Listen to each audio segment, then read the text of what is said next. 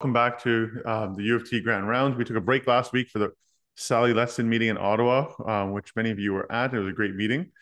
Today, we have the privilege of hearing from uh, a local but also international expert, uh, Dr. Steve Arshinoff, who is a professor of ophthalmology at the University of Toronto.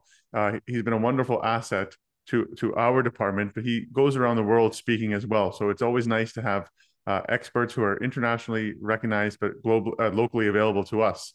Uh, Steve's long been a leading researcher, both in the areas of OVD devices as well as intracameral antibiotics following cataract surgery, which I think is a real, um, which has been a real bonus to to our to our profession. He's long been a leading voice for, for simultaneous bilateral cataract surgery, and I'm sure we'll hear about some of that today. Uh, for those who don't know, Dr. Arshinoff maintains a busy cataract practice in Toronto. He's the director of the IVAN, which is an amazing project that services rural Ontario and is also he also founded the Eye Foundation of Canada, um, a program from which many ophthalmologists um, launched their career. So, Steve, thank you for everything that you do for ophthalmology, both locally and internationally. And I look forward to hearing your talks today. I'd also like to welcome two of our senior residents, fifth year residents, uh, Dr. Ellen Zhao and Dr. Marco Popovich, who will be joining uh, Steve in the presentations this morning. So guys, Thank you, Mandy. Um, so Marco's first. Perfect. So I'll just share my slides here. All right, excellent. Well, thank you very much, uh, Dr. Rai, for the, the warm introduction, and, and thank you, Dr. Arshinoff, for, for all your help and, and support in preparing this presentation. So the first topic we wanted to address um, in today's Grand Rounds was on the topic of femtosecond lasers and their role in cataract surgery.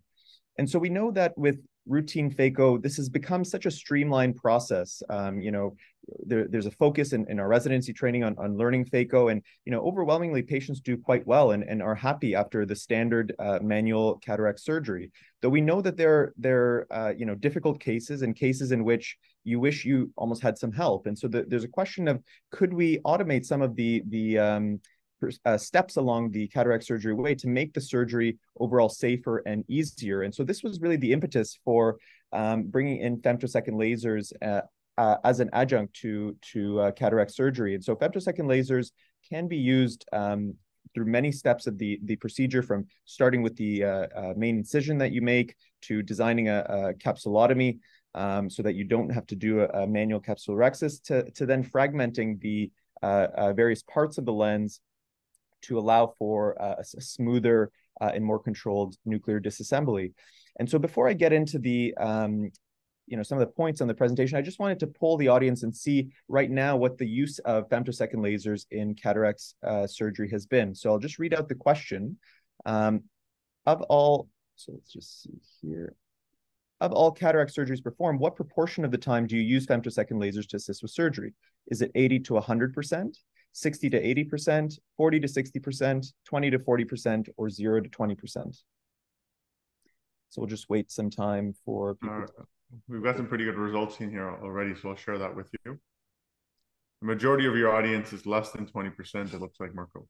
Right, exactly. And and you know that that could be expected given um, you know, given what we've heard. But I'll go into the issues and I'll try to be kind of as balanced as I can on both sides of the argument. And so femtosecond lasers, as we know, um, what they what they do is they use the phenomenon of, photo disruption. So they, there's a creation of ionized electrons that allow for um, that allow for shock shock waves that that can mechanically um, uh, break the tissue, whether that's at the level of the anterior capsule or the lens itself. And they're accompanied with use of, of uh, real-time intraoperative OCT.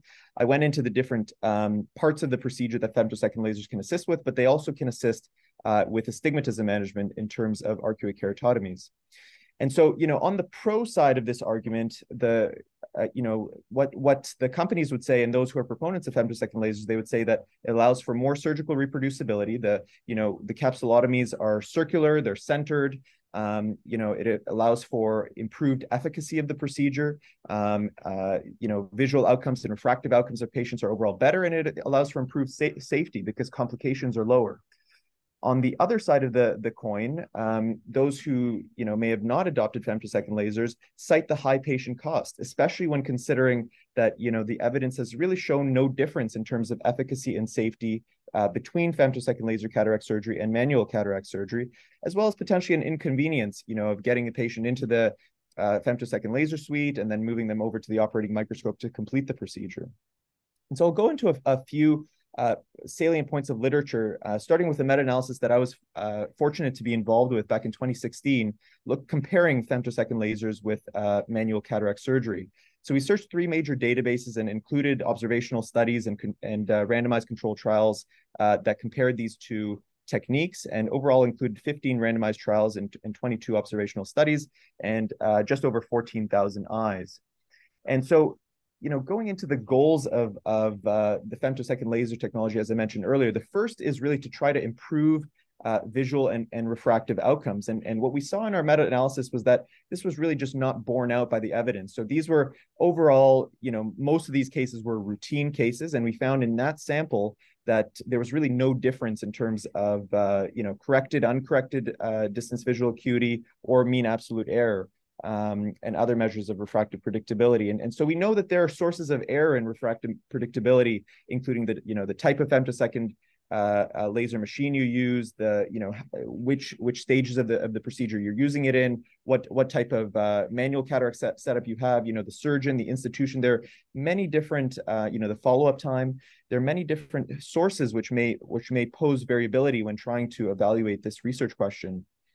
The second goal is, well, you know, the proponents would say that femtosecond laser cataract surgery is superior in terms of secondary surgical endpoints. And so, you know, in general, there were some mixed results, but we did find that in general, um, with with using the laser, the the capsulotomies were more circular, as as you would expect, um, and there was less decentration of the uh, of the IOL relative to the um, the center of the pupil.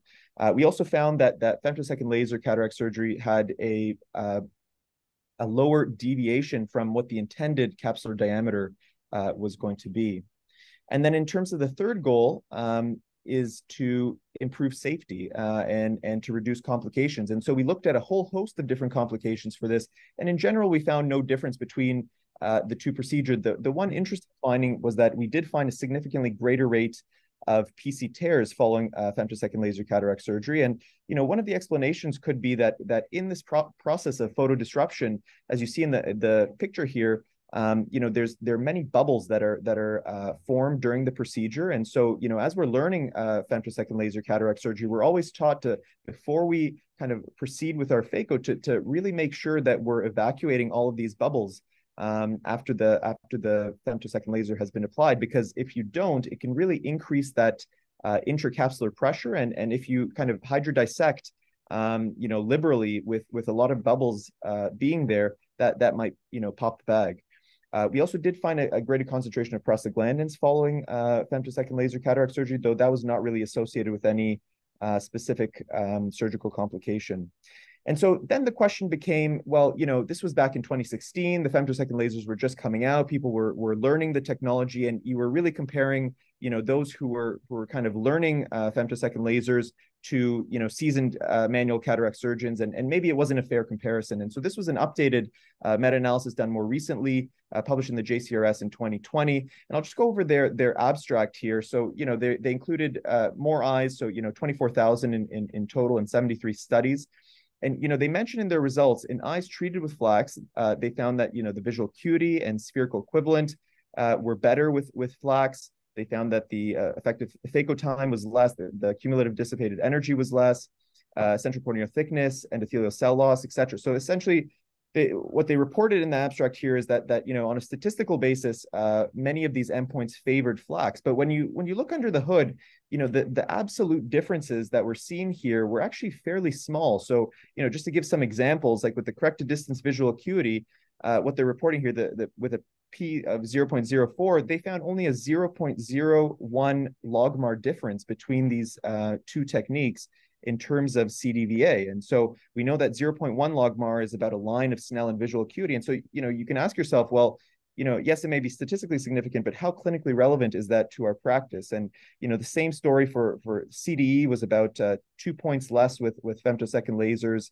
Um, refractive outcomes were, you know, spherical equivalent was was on the order of like 0.05 diopters different between the two uh, procedures. And so, you know, that might then beg the question, well, you know, why should I ever use FLACS? Is there a role for FLACS at all, given given this uh, evidence that's been presented? And I want to go into a paper with with that uh, Dr. Arshinoff and his team did looking at a retrospective case series of over 3,000 cases comparing these uh, techniques. And, you know, one thing that was novel in this study was that they didn't look at all comers in all cases, like as I showed you in the previous meta-analyses, but they uh, stratified their cases based on surgical difficulty. And so they, they looked at all different um, ways that, that cases could be difficult and assigned uh, each case a series of, of scores and points. And then in their results on the left-hand side here with the total sample of 3,000, the results were fairly similar to, to what I was uh, describing in the meta-analysis with not, not a huge great deal of difference in terms of visual and refractive outcomes. But then when you look on the right-hand side here, uh, on the subgroup where this degree of difficulty was greater than zero, so there was at least one point of degree of difficulty, we do start to see some differences between um, manual and femtosecond laser cataract surgery. So, uh, you know, for, for final BCVA, for example, a 0.05 uh, logmar uh, difference, and for mean absolute error, a difference of about uh, 0.13 uh, diopters on average. And similar story with the uh, surgical time. So finding that that the surgical time was less with with femtosecond lasers versus manual cataract surgery. And so I, I want to stop it there uh, for to entertain some discussion. And so, you know, the question is, should should femtosecond lasers be used in cataract surgery? Should, it, should they be used for all cases? Should they only be used in certain situations? Or should we never use them at all? And so I will uh, stop sharing there. Okay, so, okay, thanks very much. Uh, let me just show the slides that I have, and then we can uh, discuss things.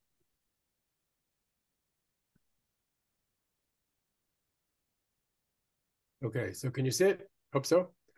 All right, so yep. I'm going to tell you that uh, thanks to that discussion, Marco, I'm probably the only one here who was first taught to do cataract surgery as intracapsular cataract surgery. And I've been through every iteration of change you can possibly imagine. As every few years, I was told to change my practice.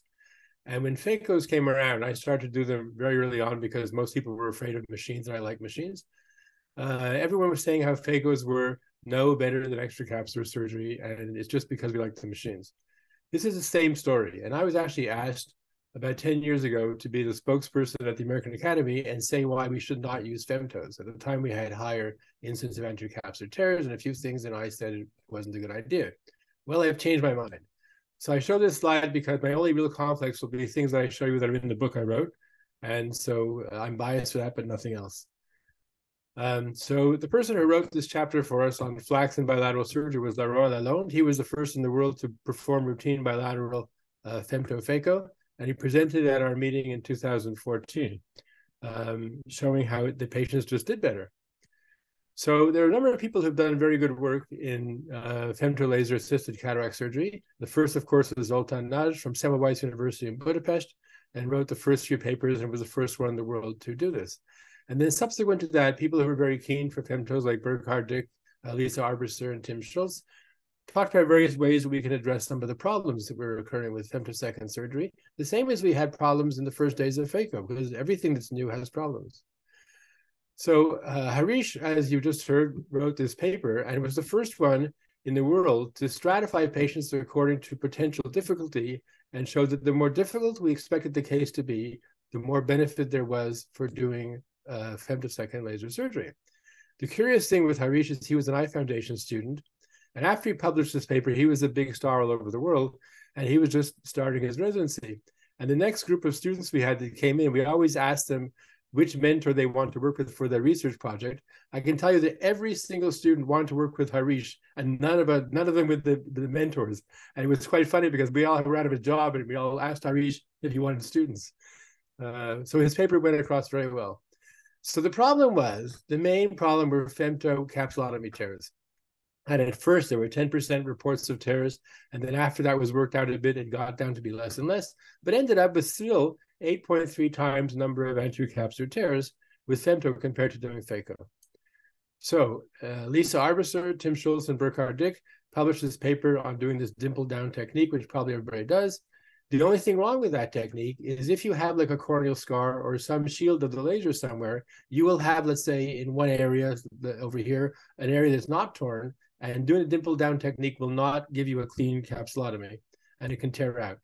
So I published this paper in 2020 talking about how we can use OVDs to press the center of the capsule, and then we can go along and we can do the capsulotomy and get rid of tears. And the last thousand cases, uh, I've had zero tears. So I'm going to show you this. And here's a patient where it looks like the capsule on the left side here is not separated. And so when I inject the OVD, and here I'm using Healon GV, you see the capsule actually comes away. So in this case, it looks like we had to do something, but really we didn't because it came away just with the OVD. It's just where it was sitting. So we go in with these forceps.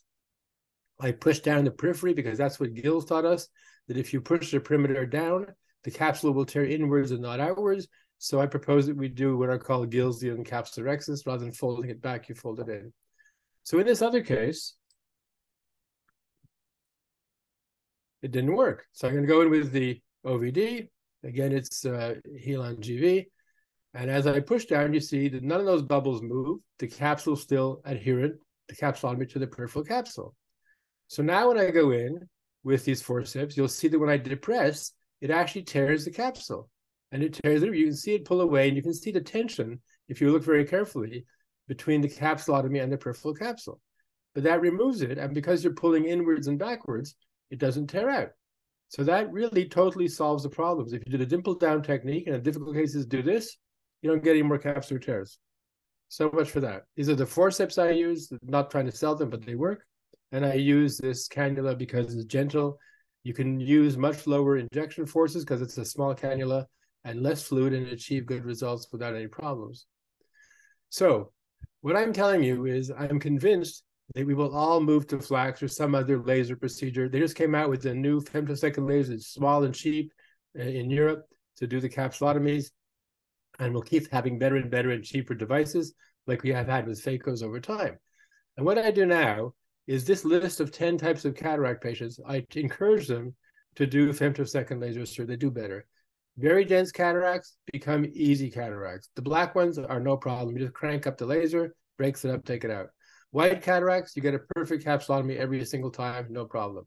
Moderate or severe exfoliation, the lens is broken up, you just take it out and you hope the bag is okay. If not, you support the bag. Shallow chambers, you don't touch the cornea, much safer. You can do them very easy. Fuchs cases, again, you don't touch the cornea, much less flow, much less energy. You you you protect endothelial cells very well. Fibrotic capsules are very difficult to do sometimes. The laser just breaks them open and it's not a problem. Myotonic dystrophy patients have very, very elastic capsules, so they're difficult, but they're easy with the femto. One of the big ones are posterior polar cataracts. They are much, much, much easier with the femto because it leaves a layer of cortex in front of the hole. And so you can just do the case and take out that piece of cortex at the end, not a problem. Post-vitrectomy cases, the whole eye stays still, not a problem. Flomax cases, you basically do the capsulotomy before you touch the inside of the eye. And so it's not a problem to do those cases easier. So I'm saying that you're going to find that, like with phaco, we will gradually move to this, to better technology and do things better. Phaco was also deemed to be unbelievably expensive in 1980. But as time went on, everyone has a phaco machine. And if you use it all the time, it's not very expensive. And that's what I think will happen. So thank you very much. And uh, maybe we'll move on to our next session and have the questions at the end. Just keep your questions and we can do them at the end. So the next session is going to be also uh, by Marco. All right, perfect. So I'll just keep on going here. So the next topic we had was, um, sorry.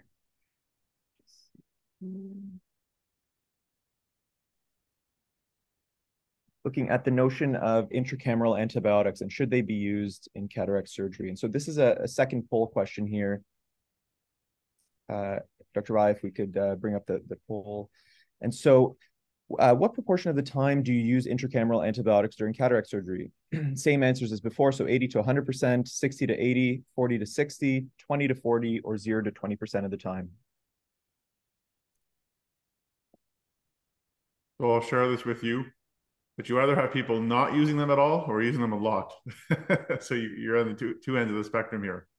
Quite interesting, for sure. So I'll go into the uh, some of the salient issues. So intracameral antibiotics, as we know, um, were were are used for for the um, to to prevent postoperative endophthalmitis, and we we know that that really you know this is one of the most devastating complications of cataract surgery, and and you know the more cases of endophthalmitis that we can prevent, uh, really the better.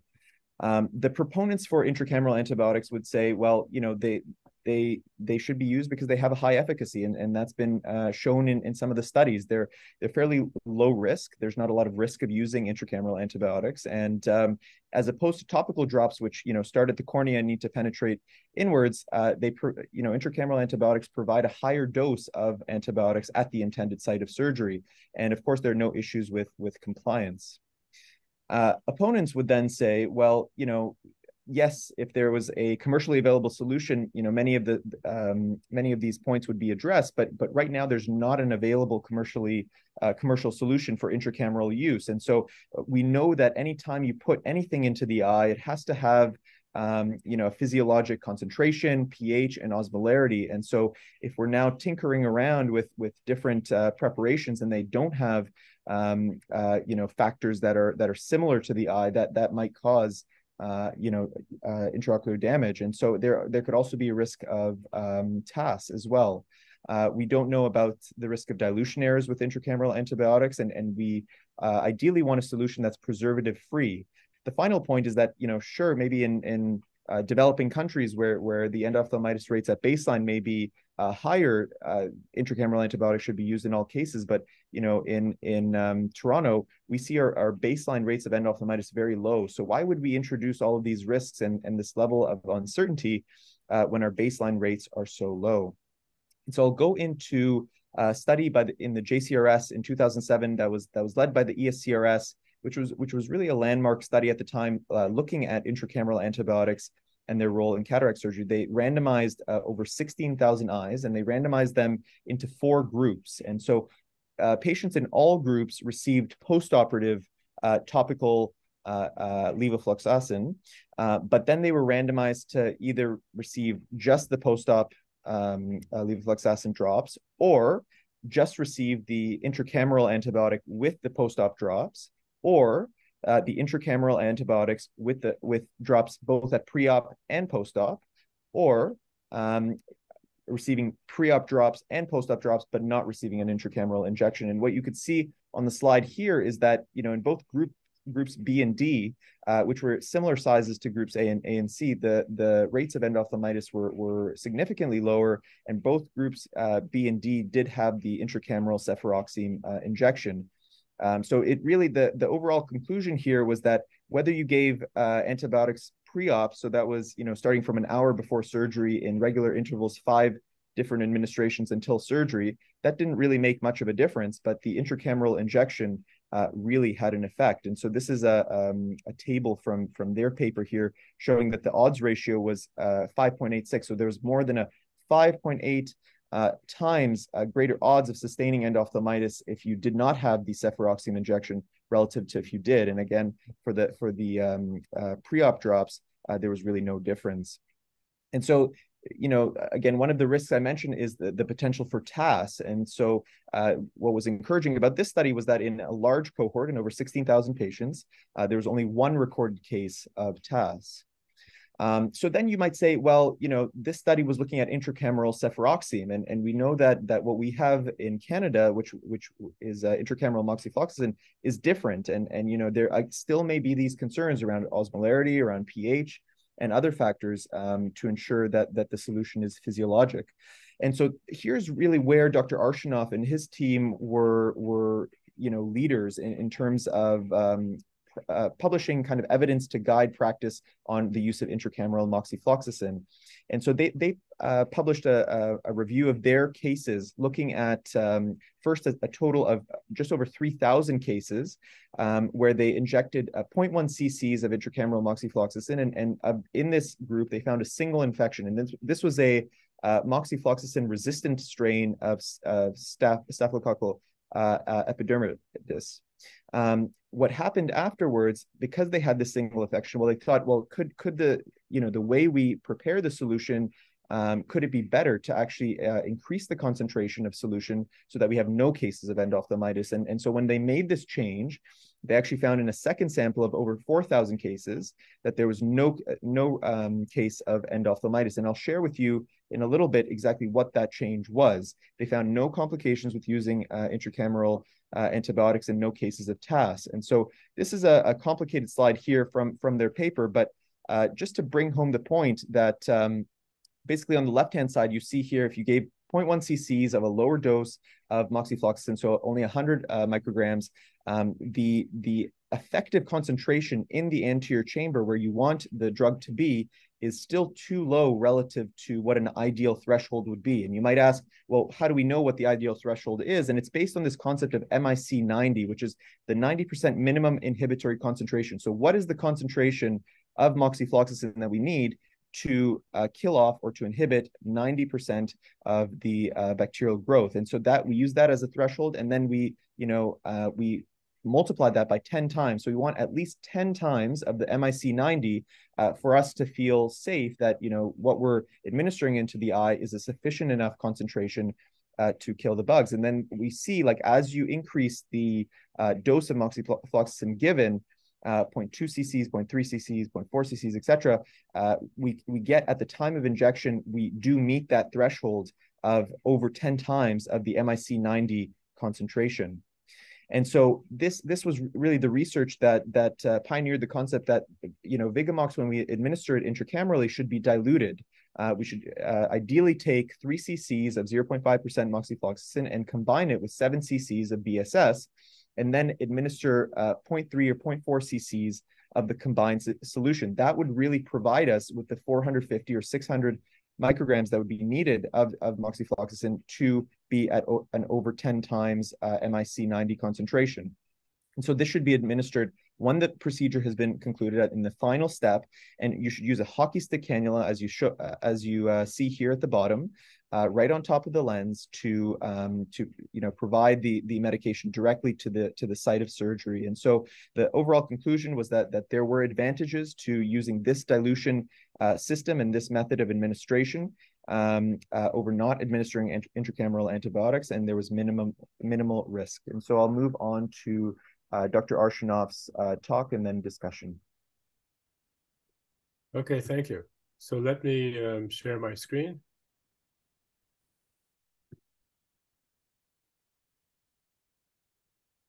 Okay, hopefully you can see it. So I'm going to talk also about bilateral surgery because the reason people were against doing bilateral surgery for 100 years is because we had no antibiotics and no reasonable prevention for infection. And people were always afraid of getting bilateral simultaneous post-op endophthalmitis. And so we were taught, all of us, that we should never do bilateral surgery, that we should find ways to make sure we don't get infections first. So what's allowed the return to interest in bilateral surgery? Well, between 1980 and 1995, OVDs and this entire list of things, including the lens designs, the capsulorhexis, foldable lenses, cartridges, numerous things have made it such that surgery has much lower complications. And therefore, if you have a very low complication rate, you can consider doing bilateral surgery, with the only thing left out now is still infections. So where did we learn to do injections? The first person was Gholam Peyman, who began in 1974 to inject antibiotics directly into the vitreous. He was the first one to begin to inject the drugs right into the eye rather than giving systemic medications. It was then Gimbel and Gills who took that and began to give intracameral antibiotics prophylactically, and they began to publish infection rates of less than one in 10,000, which nobody else in the world was having. And uh, Howard Gimbel taught me how to use intracameral antibiotics in like 1991, and I've been using them ever since, but changing the drug as we got better drugs. So when people credit the ESCRS study, the truth is that's not where it came from.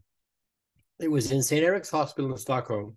They noticed between 1990 and 1995, when you're looking at the papers of Gimbel and Gills, that they had infection rates which were way, way higher than being reported by Gimbel and Gills.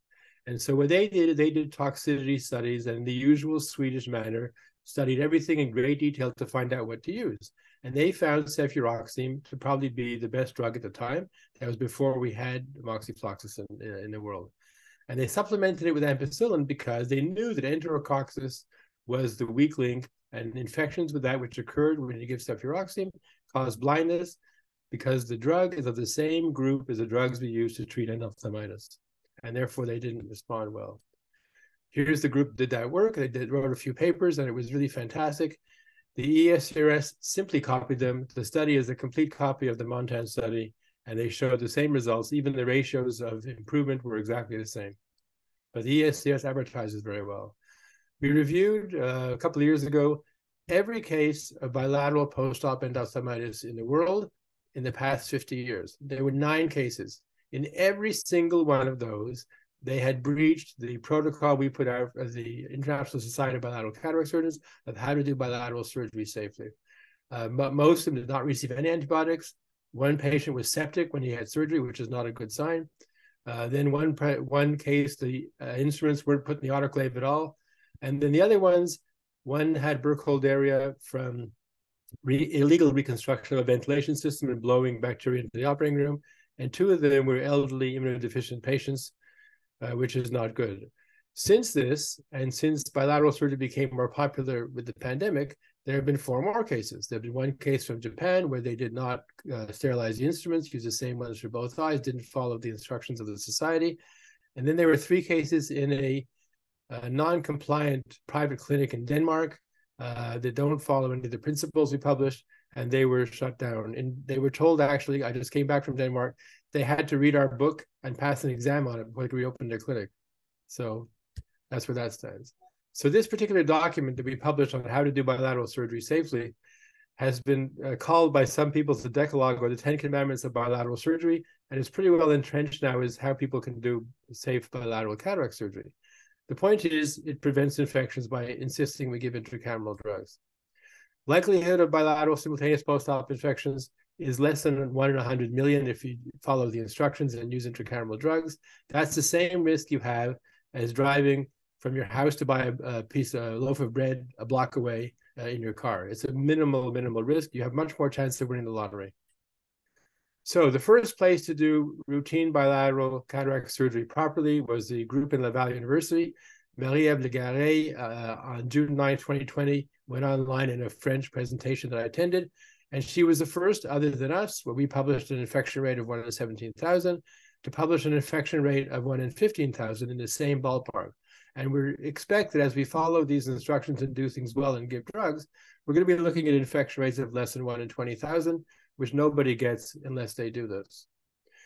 There were now uh, reports of TAS, and the first publication of TAS in bilateral surgery came from Jan Venter at the meeting in South Africa. These were cases in Glasgow at Optical Express.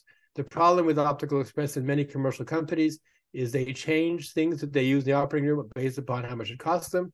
And one of the criteria we have in doing bilateral surgery is you change nothing without everybody reviewing what you're going to use next time. And that's why they had TAS. And all the cases did okay, but they had eight cases of TAS. So we just published a paper uh, with uh, Bill Shih, and then uh, I, I, was late for the ESCRS, and so Melanie Hébert, who helped us write the book, presented this uh, at the ESCRS for us.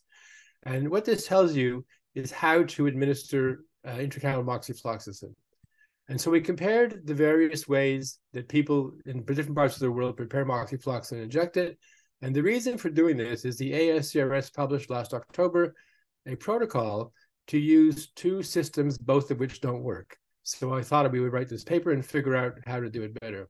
And so what we did is we compared the different methods. Everyone agrees how much you should have in the eye because of a study by Lieber and Matthews, which showed that only moxifloxacin will kill all the bacteria we get in endophthalmitis. But for to do so, you have to have more than 0.5 milligrams in the anterior chamber. And you can't play with the eye afterwards to, to have something leak out. So let me show you. On the left side, you're seeing a video of how I inject intracameral moxifloxacin. First, I seal the main incision, and you watch the chamber deepens. When the chamber deepens, you know it's not leaking. Then you come back with the moxifloxacin, and you inject it, and you inject it uh, diluted so that when you inject it, you have enough force to actually blow open the capsular bag, rotate the lens wherever you want it to be, center it, you get on the angle you want, whatever you like, and you keep injecting until you have 0.55 injected into the anterior chamber. And I'll explain why it's 0.55. This other video is of a world famous surgeon injecting moxifloxacin. You see how much leaked out? At least half leaked out. Then they go and adjust intraocular pressure. There's no way they got even one half of the intended injection into the anterior chamber. Not a good technique. So our study was to figure out how to do it properly. Well, it turns out that in engineering math, you learn how to figure out how much stays in the eye when you inject things into a leaky sink or whatever. And we checked these three techniques. Method one was right from the bottle. Method two was the method of Shorstein in California. 0.5 mils of 100 micrograms in 0.1 mil. And method three is my method of 150 micrograms in 0.1 mil, about 0.5 of mil. Okay. When you do a mathematical problem, you have to have assumptions. The assumptions are simple that it's this constant, stable environment, not complicated. You get the math, which nobody wants to read, but you get these graphs. And these graphs show three things. The first method, where you inject 0.1 cc, has a very steep line. A very steep line means it's very hard to get the right amount into the eye. If you inject a little bit too much, a little bit too less, you're not going to get anywhere near the amount. Because nurses always give you less than you want to get, not more, you're always going to be under. And if you look at this table, it shows you how much under you are. You're under by quite a lot when you use this method. If you use the method of Shorstein, you have to inject an infinite amount to get what you need in the eye. Of course, you can't inject an infinite amount, so you never get close to how much you need in the eye. And my method, because it was designed based upon this math, ends up giving you almost exactly what you want. If you inject 0.55 cc's and you allow, allow for leakage, you end up with the right amount. So here's how you make it. You put the whole bottle of Vigamox in a syringe, you fill 7 cc's more of BSS, and there you are. You have enough last for the whole day. It's very easy to do. You divide it in aliquots. You know that the pH is balanced because it's BSS, and it's not a problem, and it's non-preserved. But you have to use Vigamox, or you can use the Sandoz generic, which is exactly the same. But you can't just buy one off the shelf that's a copy because you don't know what's in it. All right. So my conclusion here: we will all do bilateral surgery as a default procedure over time. Everyone is more and more doing it, and we will all use IC moxifloxacin more or less in this method until a new one comes out and proves to be better. And I think it works. And if you want to get infection rates of less than 120,000, that's what you got to do. It seems to work. Okay, thank you.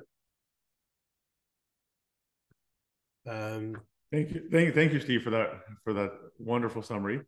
Uh, maybe we'll go to Ellen's talk next, and then we'll hold the discussion till the end, if that's okay. Just to make correct. sure that's the plan. Your turn, Ellen. Can you hear me and see my slides okay? Can you yes. Good morning, everyone. My name is uh, my name is Alan Zhu. I'm a PGY5 resident in the program. Today, I would like to discuss um, ophthalmic viscosurgical devices, OVDs, their rheologic properties, and the applications in cataract surgery. I would like to thank Dr. Arshinoff for sharing his lectures at uh, this year's ESCRS. So um, in order to understand when and how we use OVDs, we must first understand their rheologic properties. So rheology is the study of fluid behavior in response to applied forces. It has many applications in the nature and different fields of science, such as geology. And in our case, uh, rheology discusses the change of OVD's viscosity in response to shear forces. And during cataract sur surgery, shear forces come from the turbulence generated by the phaco needles or the IA probe. So for all the fluids in the nature, we can group them into four different rheologic patterns. For our OVDs and ketchups, um, they belong to pseudoplastics. Their viscosity decreases in the concave down manner as shown here as the shear rate increases. For plastic fluids such as mayonnaise, their viscosity decreases in a linear fashion compared to the shear rates. And for Newtonian fluids such as water, their viscosity is independent of the shear rate, which maintains constants as shown in the red line here. And for the last group, the dilatants such as cornstarch, their viscosity increases in a concave up manner uh, as the shear rate increases. And here are the examples of four different type of rheologic fluids. And next time we can all think about it at the dinner table. So all the OVDs are pseudoplastic, and we take advantage of this concave down relationship during phaco surgeries. When the shear rate is very low, such as during rhexis, we can employ, we often employ the um, soft shell technique because here the visco is very good at coating structures and protecting them because their viscosity is very low. In comparison, Healon GV and Provisc, they belong to the cohesive class and have a higher viscosity. And therefore, we inject them after injecting the um, and these uh, OVDs can reform the space. As we uh, as we increase the shear rate, such as during IA, interestingly, at this point, the viscoat has a higher viscosity compared to the rest, and that will explain why we must pay extra attention when you when we are removing viscoat and to avoid post-op IOP spike.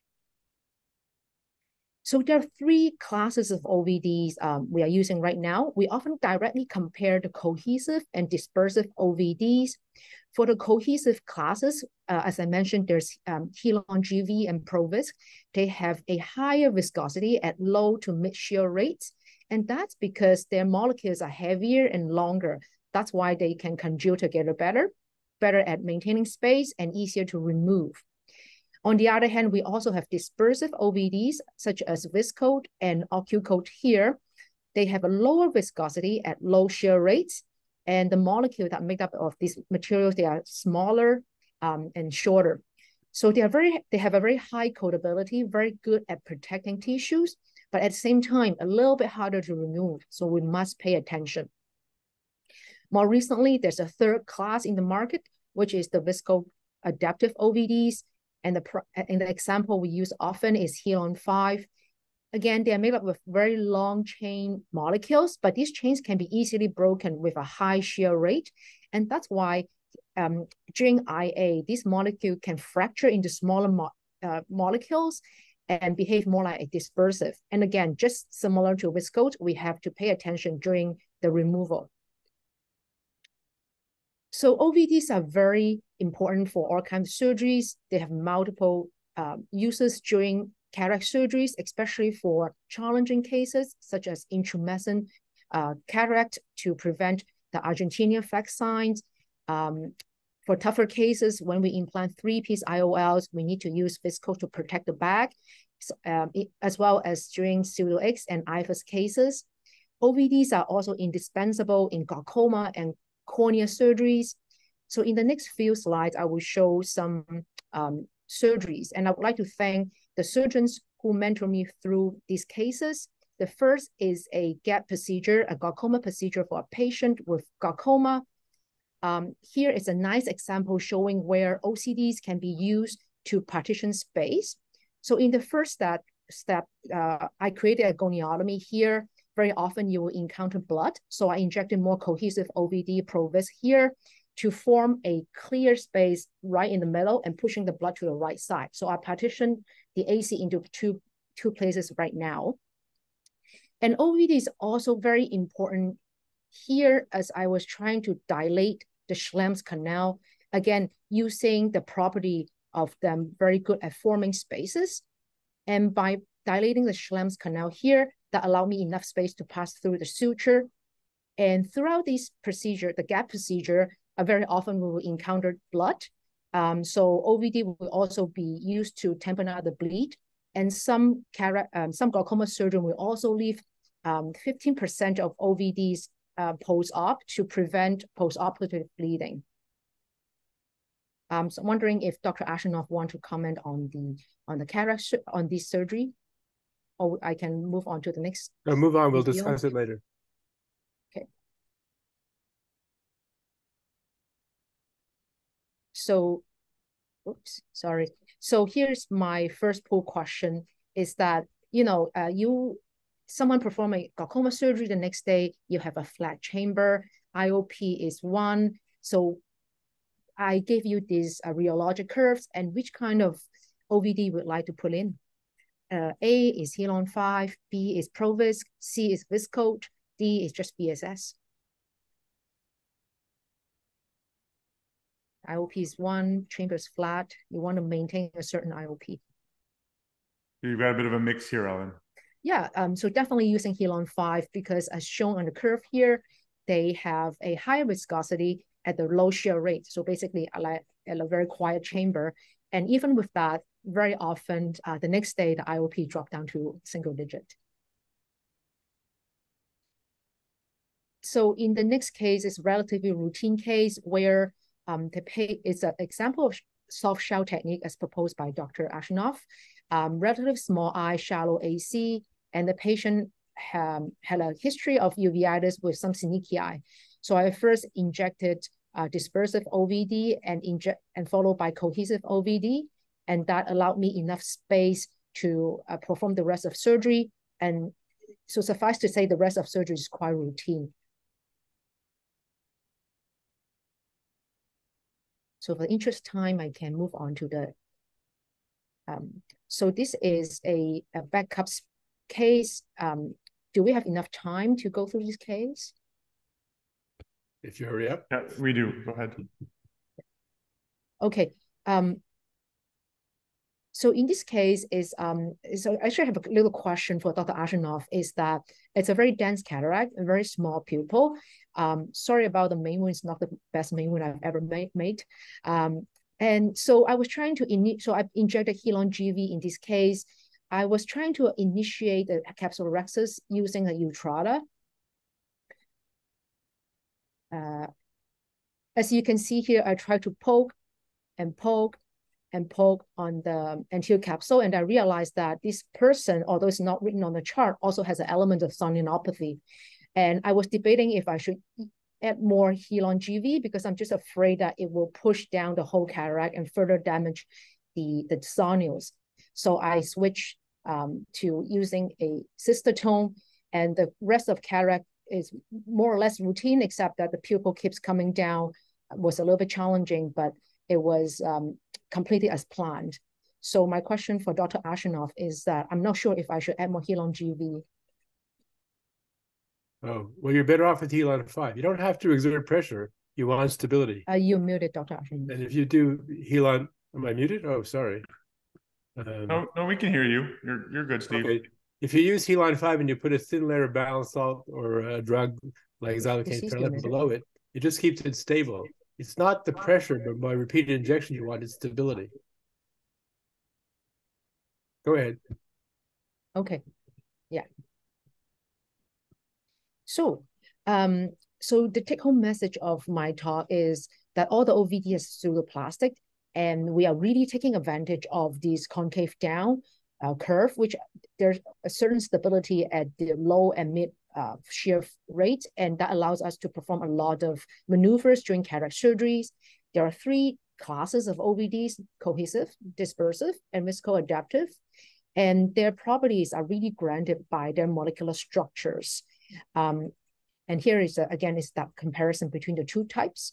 Um, and OVD are very versatile in all kinds of ophthalmic procedures. If one thing I took away from the Sally Letson lecture is that um, the OVDs are cheaper than the vitreous. So uh, I have very low threshold to use them during my, uh, during uh, as I'm learning cataract surgery. And with that, thank you.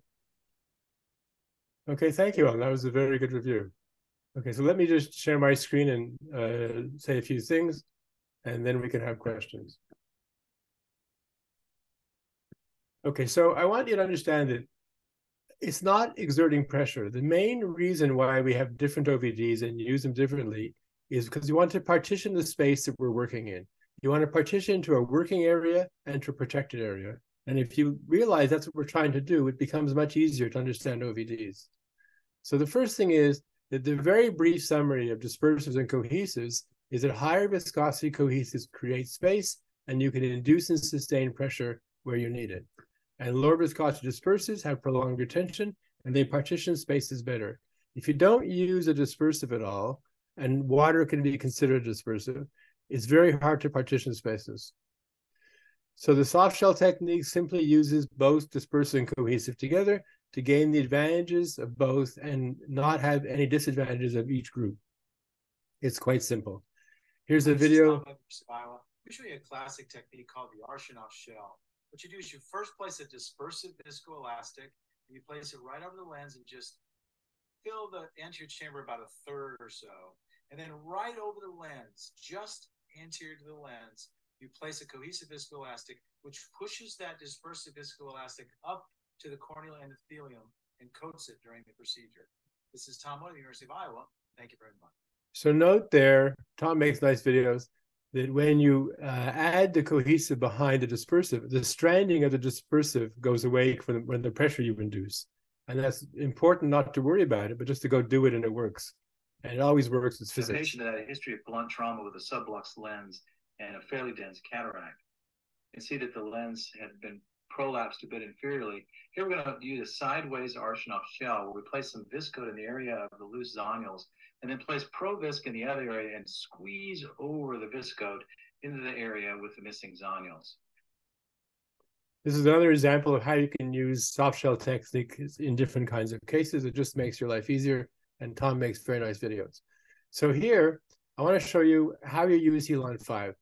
You, you don't want to use it by itself because it's so viscous that the resistance to movement of instruments is 7 million times the resistance of moving instruments in water, which is difficult. So when you do the pre-caps or precapsulorhexis step, you fill the eye mostly with the Healon 5, but beneath it, you put a little layer of balanced salt or xylocaine phenylephrine.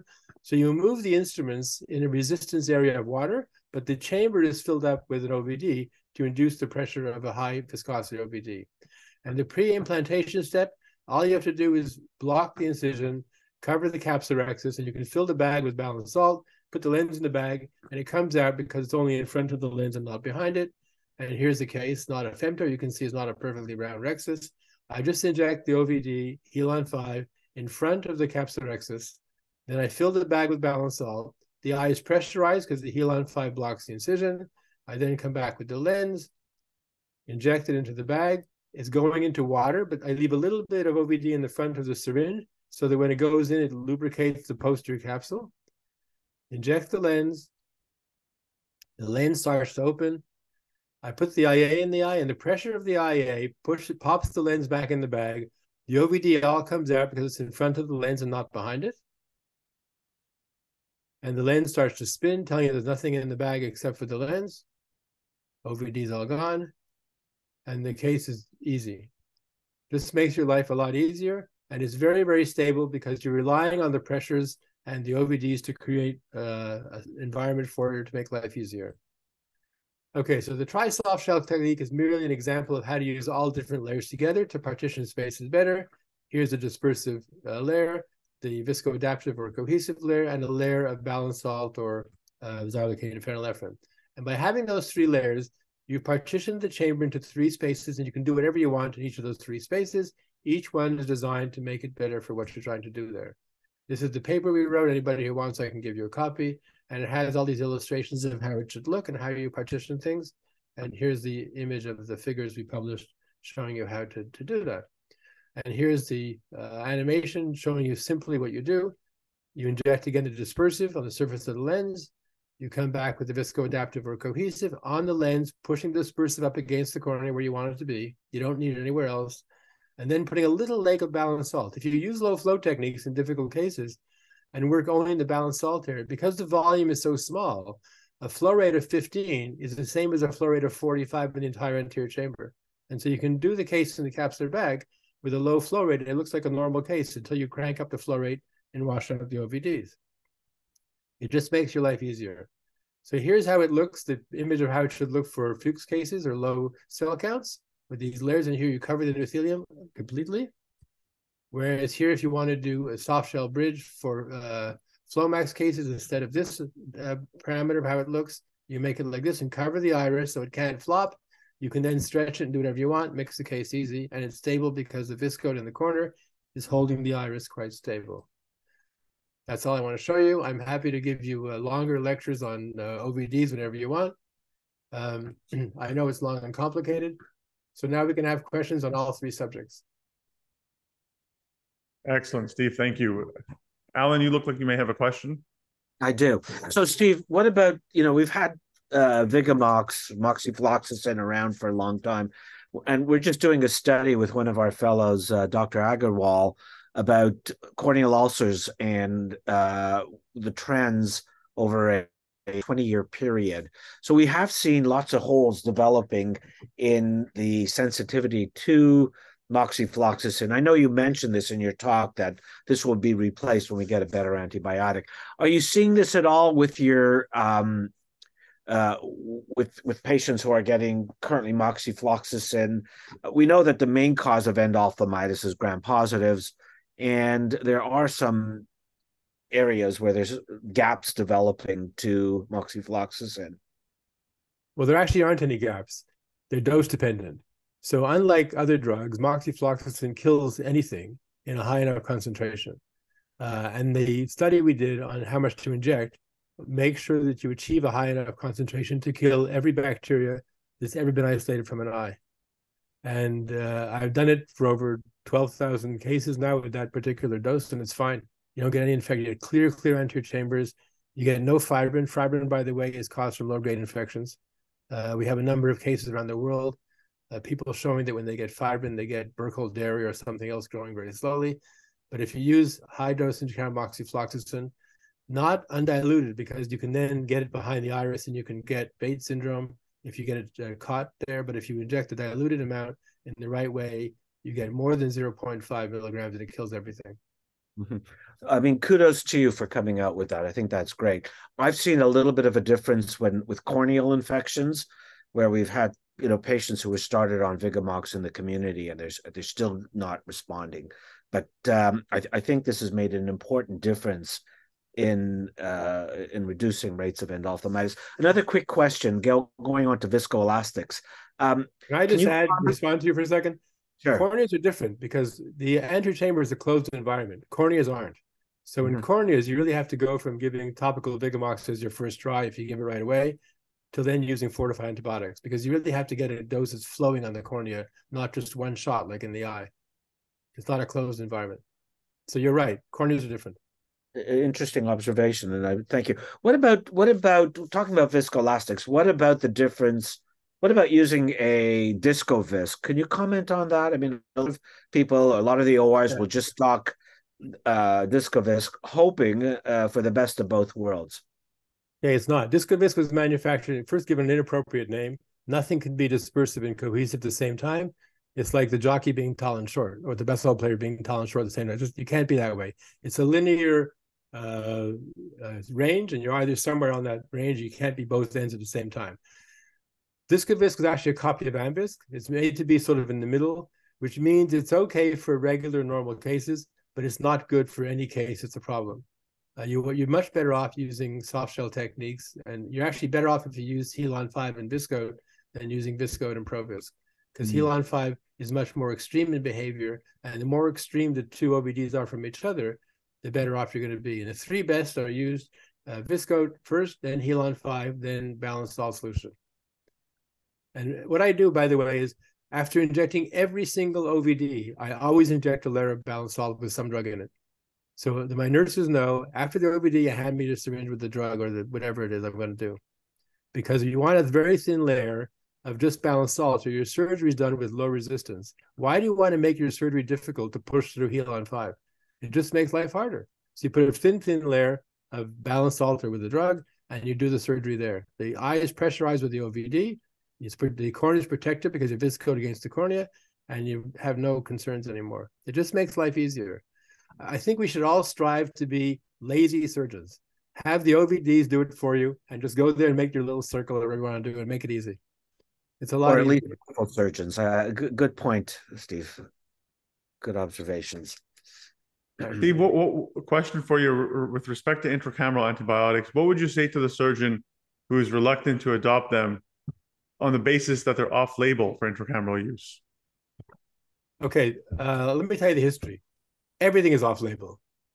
Well, you're a doctor. You're licensed to do what you think is best for the patient. If you think it's best for the patient, it's not off label. So off label refers to commercial sales, not to what you as a doctor choose to do.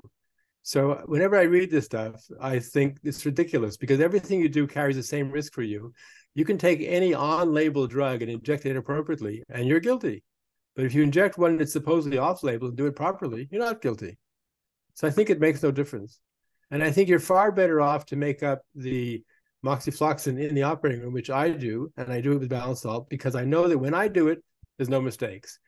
We had some pharmacies try to make it up. Once in a while, they have a new technician in the morning, they make it up with water rather than BSS. Great. You just wrecked 10 corneas. Uh, or all kinds of things. You're far better off to just do it yourself in a syringe. It takes you about maybe five seconds to put the whole bottle of Vigamox in, seven cc's of BSS, and you're set for the day. Or if you if you do more cases, you do it do it again later at noon. But it's it's very very easy, and you have the exact concentration you need. And we showed from the math you have to inject 0.55 cc's, and it's fine. And our next paper is going to show you what to do if you break the capsule. Because you know from India they showed that with broken capsules you had a high incidence of infection. It's another mathematical problem to find out what happens in those cases, which we're working on, and we'll publish it soon. I also think, from a medical legal standpoint, just having that consensus statement that you produce can be very helpful to alleviate those concerns for those surgeons. So thank you for, for your work on that. Uh, question from Dr. Ucel um, regarding FLACS in patients with small pupils. Um, what's your what's your experience in those particular cases? And I'm I, you know, in relation to that as well, I, noticed you listed um, patients on Flomax as a possible indication for femtos. That's kind of related there as well. Maybe you can touch upon that. Okay, so the one the one thing that uh, I find difficult are very small pupils, because often they're fibrotic. The Flomax ones aren't so bad because they initially dilate if you give them enough drops, and then you can do it because once you've done the rhexis, you don't care anymore if the pupil gets small because you tamponade at it uh, with the OVDs. You can stretch the pupil whatever you want; it's perfectly fine. Um, Burkhard Dick, he actually goes and he injects the OVDs to open the pupils and stretch them, and then he goes and does the the femto on them afterwards. I kind of don't like doing that because whenever you put an OVD in the eye, you change somewhat the optics of the anterior chamber and you change somewhat how that the uh, femto is going to work, and you may end up with capsulotomies that aren't complete. So for those really, really small ones or fibrotic pupils, I actually do them manually. It's one of the only cases that I won't always do femtos.